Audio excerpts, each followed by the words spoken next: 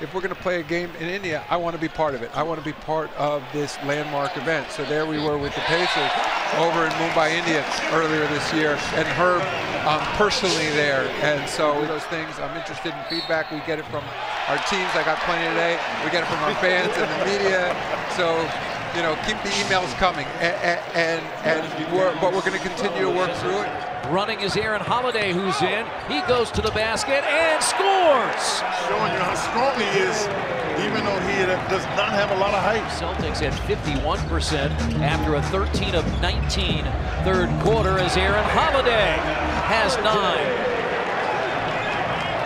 Boston 96, Pacers 90. Actually hurt his ear, but I a couple, but almost remember when we had him on? Yeah.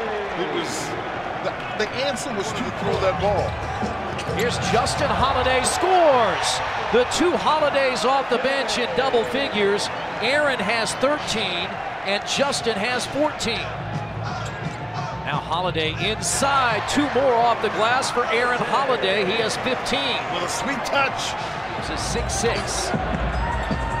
Aaron Holiday for three, and the Pacers have the lead. And that's because Brogdon can drive the lane knowing nobody's going to be there to block the shot. Aaron Holiday, eight of nine, two of three behind the arc.